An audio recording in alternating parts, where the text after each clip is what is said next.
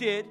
We've been talking about just different things in the Bible that get twisted over time, and then they kind of end up meaning things that really weren't intended or are viewed or quoted in ways that God never intended. How many here would say that you really aren't necessarily like totally satisfied with your income level? I mean, just like it'd, it'd be nice to have just a little bit more. Anybody in the room say, I, I, just if I could just get a little bit more? I mean, I I'm not really totally satisfied. Come on, how many would? I'm not really just satisfied with that. And so, I, for those of you who that's the case, I taped a hundred dollar bill under one of the pews, and so nobody's looking. Probably should go, I know you. There's no way you put a $100 bill in it. This week, we're going to be talking about Paul's words to Timothy in 1 Timothy chapter 6 verse 10 and how that verse often gets twisted and has been twisted. It's money is the root of all evil. In fact, that if you're familiar, you may be familiar, but uh, Pink Floyd how many remember Pink Floyd? Pink Floyd. Back in the 70s, had an album called Dark Side of the Moon, and uh, in it they have a song called Money. And in that particular song, even the lyrics just simply say that money, so they say, is the root of all evil in the world today. It's quoted. How many have ever heard somebody quote that? Get that, that recognition that, that, that money is really kind of the root of all evil. We know that that isn't necessarily what the verse says, it is a twist of that particular verse of Scripture. So grab your Bible, if you would, and turn to Paul's letter to Timothy, 1 Timothy chapter 6, verse 10. 1 Timothy chapter 6, verse 10. Are you there? If you're there, wave at me. All right, that's all you're getting there. You're getting there, and I always waved at me, so I, I, trust me, I can keep track of who waves and who doesn't. Just kidding. Look at what he says, 1 Timothy chapter 6, verse 10. He says, For the of money is the root of all kinds of evil, for which some have strayed from the faith in their greediness and pierced themselves through with many sorrows. Let's pray. God, thank you that we could be in the sanctuary this morning. And I'm so thankful, God, for your people, and they're so gracious and uh, opportunities to be together to worship you and uh, to preach the word. I believe your word will not return void, but it'll accomplish what you please today. That means it'll change my life, it'll change our lives. Faith will grow in our hearts and we'll leave this place more like Jesus. That's our prayer. So that we could let the world see Jesus is the answer. So help us, God, as we're in the Word today. We trust God, you'll get the praise. In Jesus' name, we say, Amen. And some of you maybe was were reading that verse for the love of money is the uh, root of all kinds of evil. Like, whew, man, I got by that one because, you know, that's some rich, greedy person. Doesn't really apply to my life. Well, the question is, how would you know if you've fallen into the trap of the love of money? Well, it may surprise you, but actually, the Bible actually gives us a definition. Ecclesiastes says it this way He says that uh, whoever loves money never has enough. Whoever loves wealth is never satisfied with their income. This too is meaningless. Remember, I just asked you if you, I know I set you up, I'm sorry. But I asked you just a few minutes ago, how many would say, well, I could, if I could just get a little bit more? I think it was Howard Hughes where they asked the question, Howard, how much money is enough? Just a little bit more. You know what I'm talking about? When you think about the whole idea of the definition, you know, that, you know, that, that recognize that the, the definition of whoever loves wealth is never satisfied with their income. Maybe that makes you a little bit uncomfortable today. Because As we think about it, as we consider that particular text, for the love of money is the root of all kinds of evil, sometimes we read past that and go, well, you know, thank God that doesn't apply to me because clearly I don't love money. That's for some rich individual out there. They're, they're the ones that are caught up in that. But the Bible clearly tells us that the love of money causes us to not be satisfied with our income. How many know that the satisfaction bar has a tendency to move? I remember when I got my first job, a dollar sixty-one and a half cents an hour. I'm thinking, oh, I'm we're in the money. Dollar sixty-one and a half cents an hour, and then you know I ended up uh, leaving that job and uh, became a, a assistant manager at Taco Bell, and I'm making like six hundred and fifty bucks a month.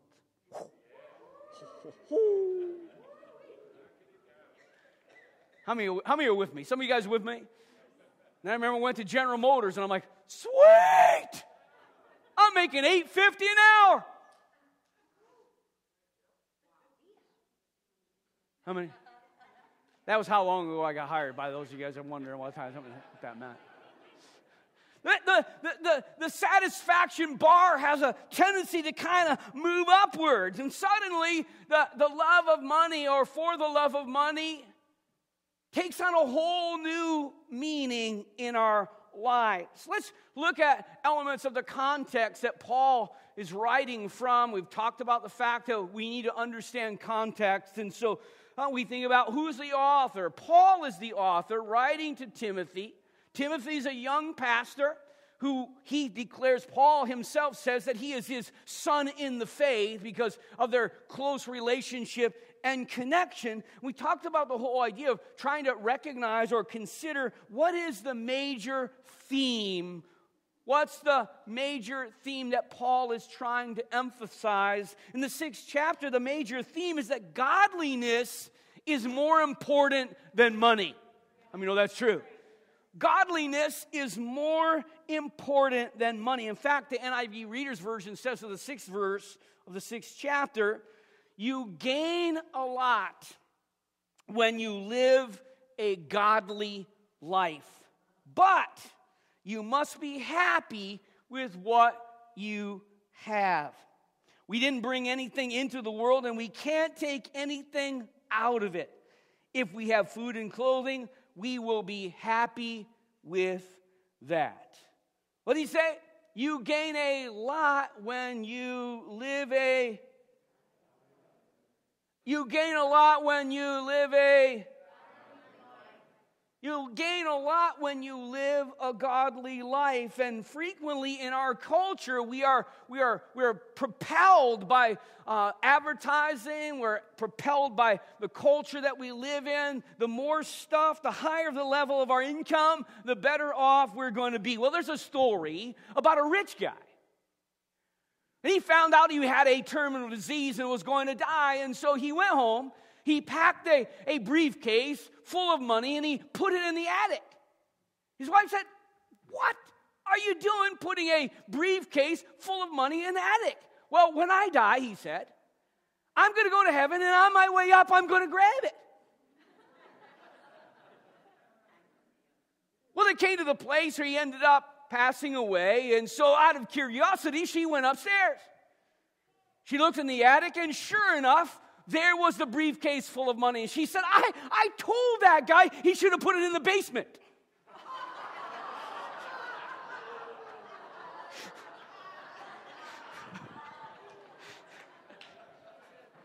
a merry heart doeth good like a medicine.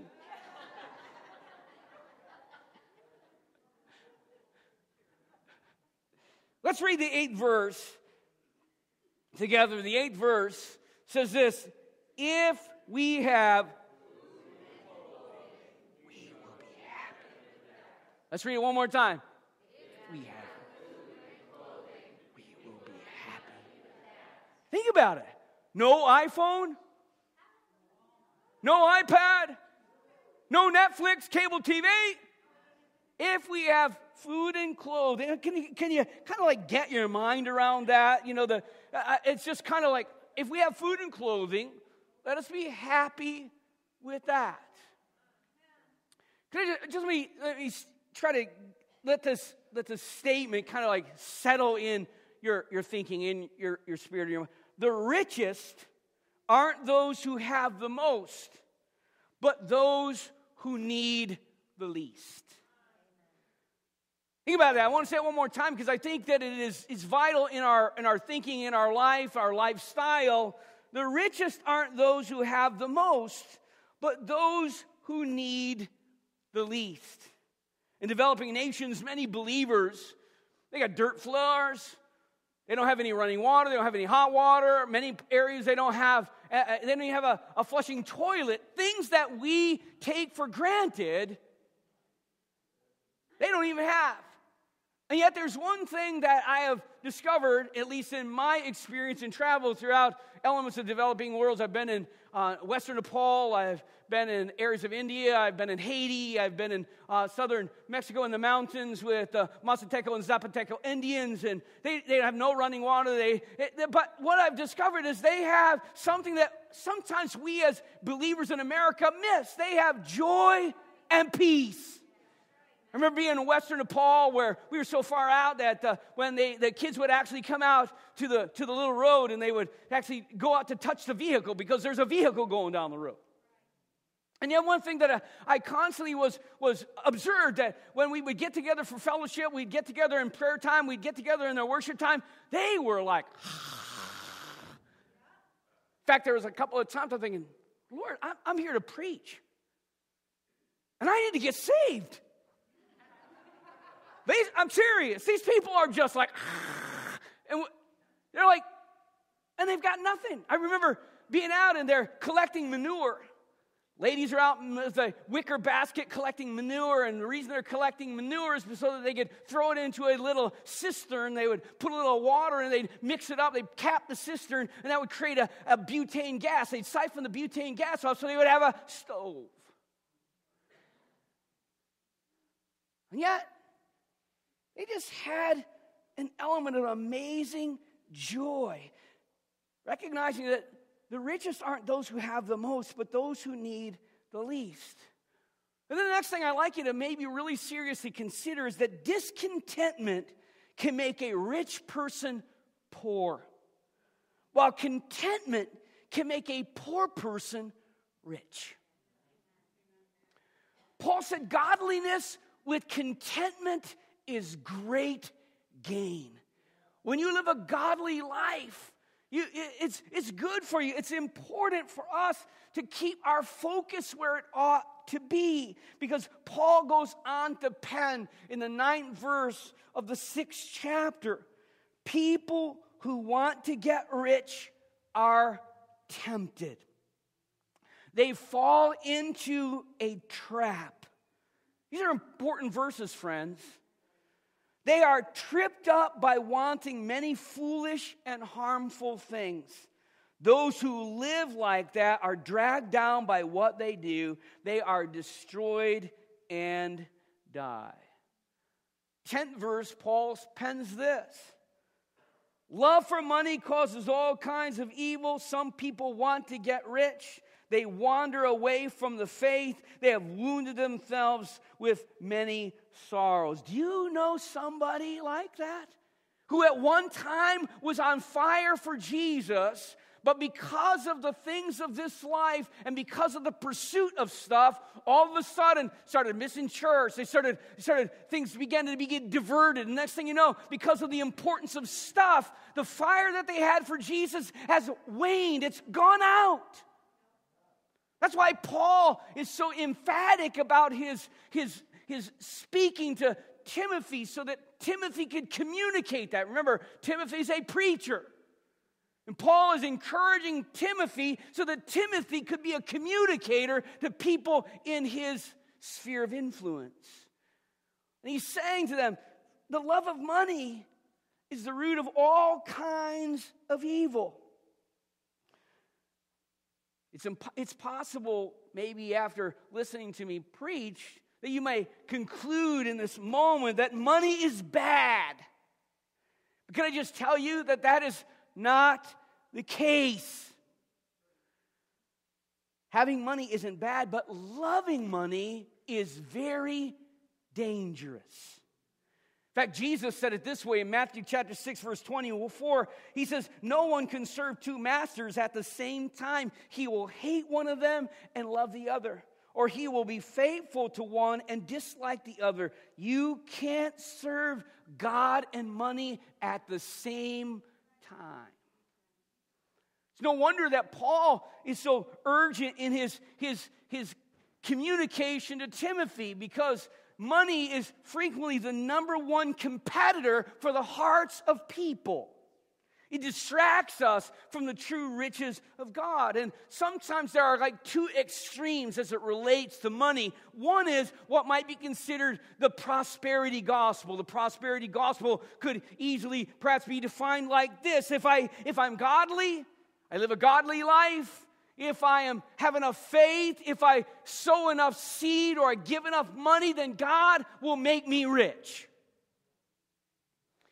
Can I just tell you that I never preached that in Haiti? I didn't preach it in southern Mexico. I didn't, I didn't preach it in western Nepal. I didn't preach it in India.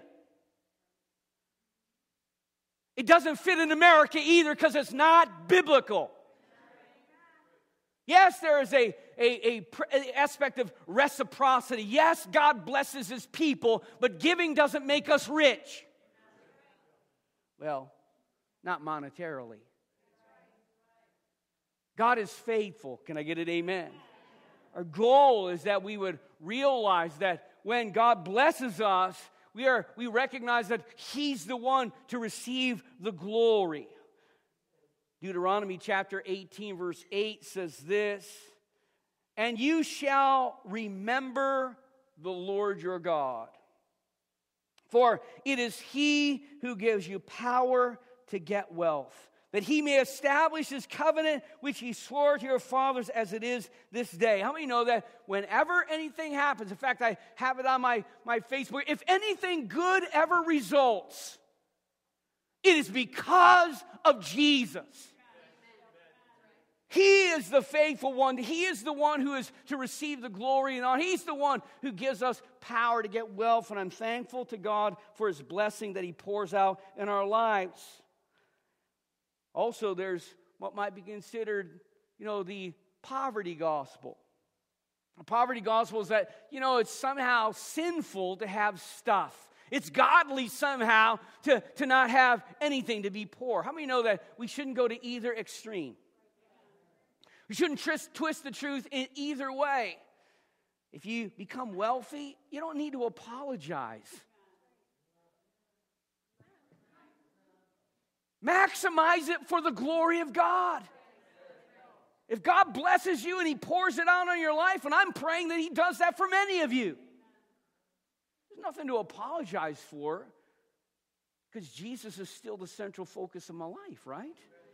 He's still the reason I, I, I, live. He's the, he's the reason that I have purpose. It's to Him, to, for Him to receive the glory. Money isn't necessarily the sin, and uh, having things isn't necessarily the sin, but it's dangerous to love money. Paul says it this way in the 17th verse, back in the sixth chapter. He says, Command people who are rich in this world not to be proud Tell them not to put their hope in riches. How many of you know what I'm talking about? I'm not putting my hope in my 401k. Amen. My hope isn't necessarily in my retirement plan. My hope isn't necessarily in my savings. My hope isn't necessarily in my home. My hope isn't necessarily in anything other than Jesus Christ and Him crucified and Him resurrected from the dead. And because He died for me, He's seated at the right hand of the throne. He is interceding for me that the promises of the new covenant will come to pass in my life and that one of these days I'll hear the words, Well done, good and faithful servant that people can see that Jesus is alive and well in my life. He says, Command people who are rich in this world not to be proud. Tell them not to put their hope in riches. Wealth is so uncertain. Command those who are rich to put their hope in God. He richly provides us with everything we need. And we, when we read that, that we may read kind of like past that because, like, you know what? I, I'm not necessarily someone who's rich. Well, I want you to maybe read that in a global context.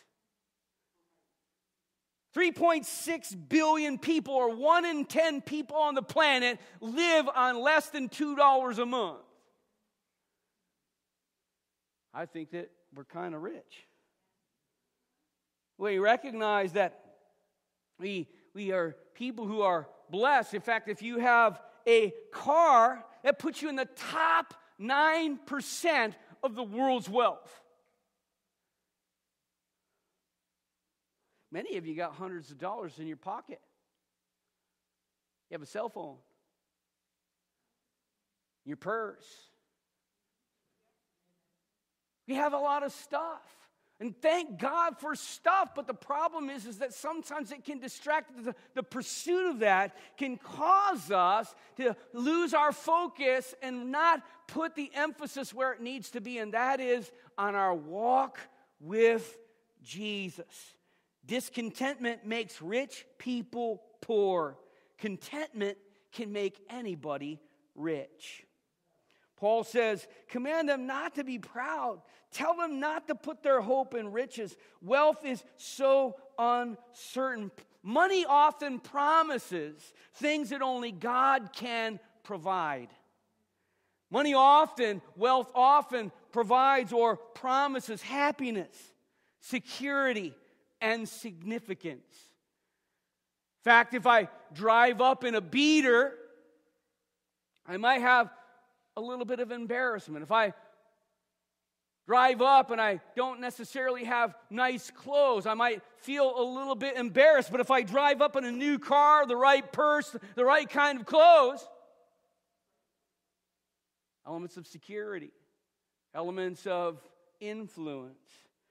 If we think that we need more money to be happy and satisfied and secured, we have been deceived. Money cannot meet our deepest needs, only Jesus can. Stuff will never provide the peace, the contentment that we need to receive from the Lord Jesus Christ because our sin has been forgiven. In fact, you think about it, the less Jesus I have, the more money looks good. The more Jesus I have, the more likely it is that I'm going to have contentment in my life. Can I get an amen? Godliness with contentment is great gain. In fact, Isaiah chapter 55, verse 2 says, Why do you spend money on what is not bread? This is a huge verse, friend. Why do you spend money on what is not bread and your wages on what doesn't satisfy? In other words, we're pursuing the stuff, we're pursuing all, and those things aren't necessarily going to bring the satisfaction that only Jesus can bring. We're distracted by it. He said, Listen carefully to me and eat what's good. Let your soul delight itself in abundance. It's not wrong to have stuff, it's wrong for us to be distracted by stuff. He said, The love of money is the root of all evil. In fact, Paul says it this way in the 18th verse. He says, Tell them to use their money to do what? Tell them to use their money to do good. They should be rich in good works and generous to those in need, always being ready to share with others.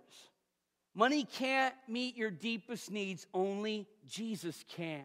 And the less Jesus I have, the more money looks good. The more Jesus I have, the greater satisfaction I'm going to have. The love for money is the cause of all kinds of evil. It's twisted sometimes to think that, well, money's the root of all evil. Well, that's not the case. The love of money is the root of all evil. How many in this room would say, only Jesus will rule my heart. How many in this room? I, only Jesus is going to rule my heart. When God blesses my life, my goal is to reflect the fact that He's the provider. He's the one who gives me power to get wealth. He's the one who's the redeemer. Don't put your trust in uncertain riches, put your trust in Jesus Christ. because He will bring blessing, encouragement to your life. Because one of these days, you and I are going to breathe our last. It's the fact. When that happens, how many in this room say, I want to hear the words, well done, good and faithful servant? What's going to rule my heart? Come on, I, let, let this sink. Because again, a lot of times we go, well, you know, the love of money, well, I don't love money because that's for rich people. What we're talking about is the distraction of the pursuit of wealth, distracting us from an ongoing, strong relationship with Jesus Christ, putting Christ first, putting God first in our lives, as opposed to the pursuit of stuff. I mean, this room say, only, only Jesus is going to rule my life. Come on, only Jesus is going to rule my life. Only Jesus is going to rule my heart. I'm committing myself, God, to saying, I want people to see Christ in me, and I refuse to be distracted by the love of money.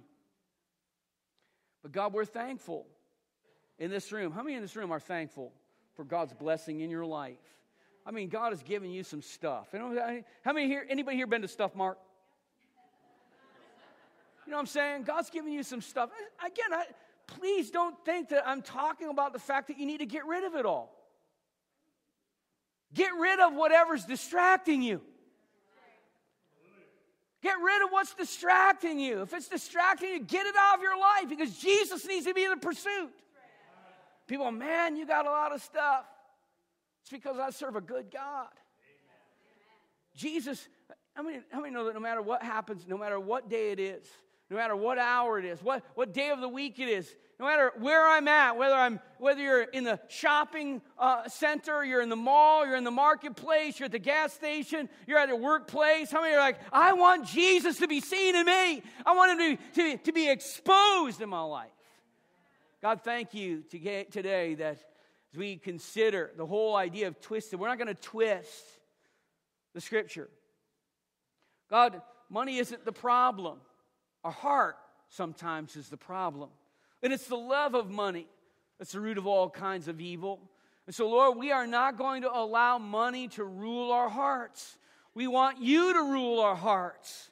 And we're saying to you, Lord, come and change and transform and confirm the fact that you are the Lord of our lives, You're the great and the glorious King. God, we're determined. The only thing that's going to rule our hearts my heart is Jesus. Jesus, come and rule my heart, rule my life. Holy Spirit, come. Examine me, Lord. If there are things that have gotten a hold of me, would you show it to me, Lord, in this moment? I want my heart to be open in this moment, God. Just want you to come and be able to speak to me, Lord. You're going to speak to me because you want the best for me. And so, Lord, in this room today, I'm praying. There's anyone in this sanctuary needs to surrender their life to Jesus, that today would be their day. Say, Jesus, I want you to come and be the Lord of my life. I want to declare that I believe that you died, rose again.